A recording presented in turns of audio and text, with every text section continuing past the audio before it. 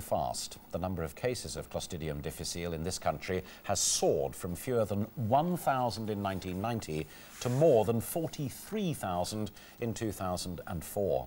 The latest figures show there were 934 deaths in 2003. Now, to put that in context, it's only a few short of the number of people killed by MRSA in the same year.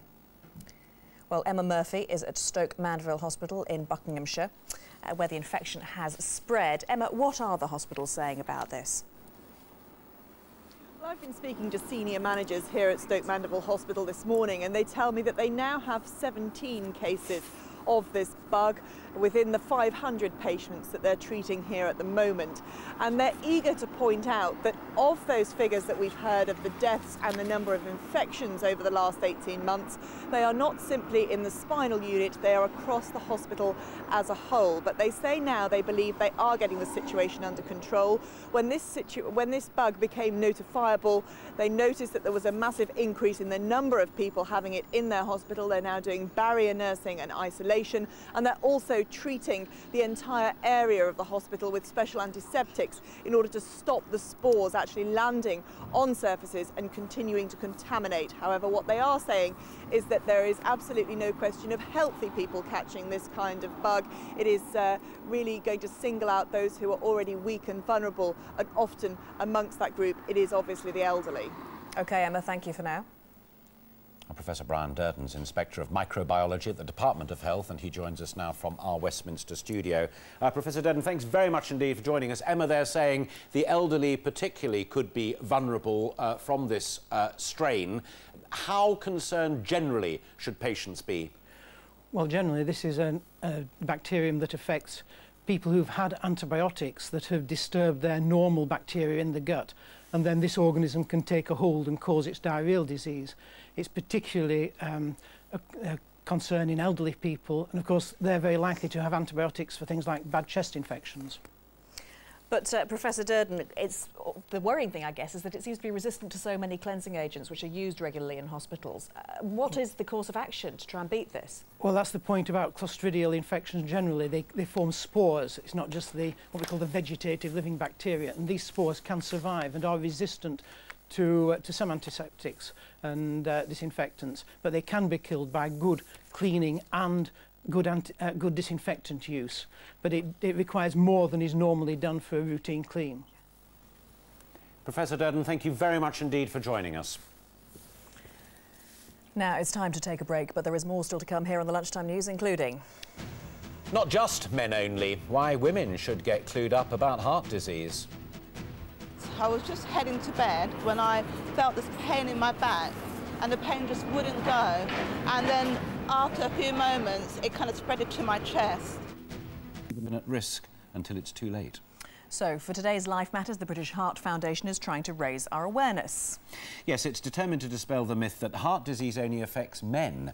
In fact, despite women's fears, breast cancer is nowhere near as big a killer as an unhealthy heart. Kia Simmons is at the campaign launch right now. Kia.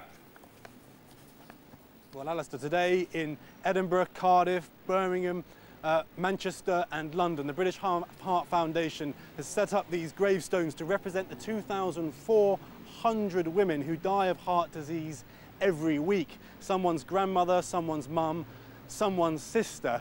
If you thought that heart disease only happens to slovenly older men, this campaign today will change your mind. Are you one of those women who think that heart disease won't happen to you? That you're too young or that only men have heart attacks? One in three women are killed by heart disease. That's 2,400 per week. Mother of two, Julie Lee Cock, had a heart attack at 34 years old, despite there being no history in her family. It was at night. I was just heading to bed when I felt this pain in my back and the pain just wouldn't go. And then after a few moments, it kind of spread to my chest. And after I couldn't breathe and I started to throw up, I just knew I had to ring um, the 999. As she lay in hospital and in shock, she saw other people, also in their 30s, also hit by heart disease. I was completely shocked. I was so shocked by it that when they started to pump me with medication, um, you know, to prevent another heart attack. I just couldn't believe it.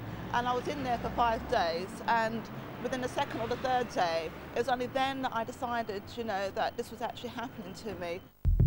Most women think breast cancer is more of a risk to their health than a heart attack, but this is wrong. Perhaps today you could take a moment and consider whether you're putting too much pressure on your heart. Joining me now is uh, former Health Minister uh, Edwina Currie, um, but you're also involved in this, Edwina, because your family have suffered from heart disease. Well, we have. Uh, my father died quite early age, uh, 65, and I have a cousin who recently had to have a quaternary heart bypass at the age of only 50. We have to 50 watch it. years in, old. 50, yeah. So we have to watch it in our family, and I'm very conscious of that. And uh, what are you doing to, to, to try and stop it for yourself? And also, what, what's the British Heart Foundation doing? Well, I've, I've been looking after myself as well as I could for about 20 years. When we finish talking today, I'm going to go down to the gym, for example. I cycle. I mean, I'm not fanatic about it. Try and keep fit, try and keep the weight off, eat sensibly, don't smoke, easy with the alcohol. I mean, I enjoy a glass of wine, but, but you know, not too much. And try not to worry about things. Stress is also an important factor. BHF is our biggest charity for heart disease, and a lot of the money goes into research.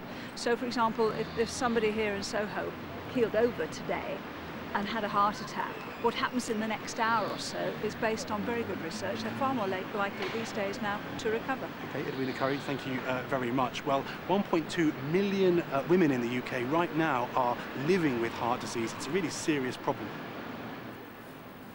Thanks, Keir. Another week, another rows brewing over the British referendum on the European Constitution.